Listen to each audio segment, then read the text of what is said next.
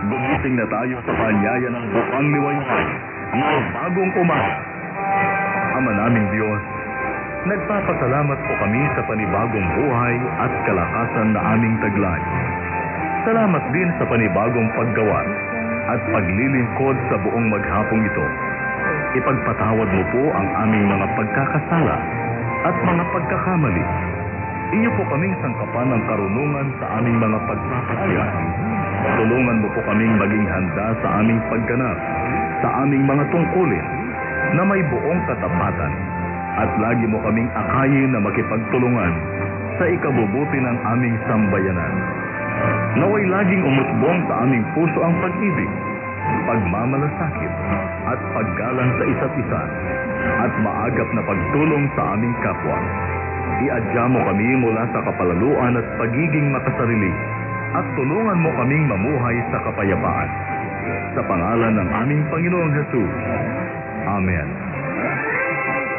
Magandang umaga po sa inyong lahat. Malugod po namin kayong inaanyayahan para sa isa pang pagsasahim papawid ng Live Radio 1179 kHz Santiago City sa AM band. Ang Live Radio Santiago City ay isang himpilan ng radyo na pinangangasiwaan ng Anti-Mission Broadcasting Service Incorporated. Ang aming tanggapan at transmitter ay matatagpuan sa Barangay Patal, Santiago City. Ito ay may lakas na 10,000 watts na may paintulot ng National Telecommunications Commission na may lisensya bilang DSB 0004-2014. Ang Live Radio Santiago City ay pinangangasiwaan ng mga kawani na may paintulot ng National Telecommunications Commission. Engineer Nino Marpa, may lisensya bilang ECE, the 0021-425. Mga first class radio telephone operators, Arman Ampuria, na may lisensya bilang SM-102-725 at Jonard Las Chica na may lisensya bilang 93-1 PNCR-5522.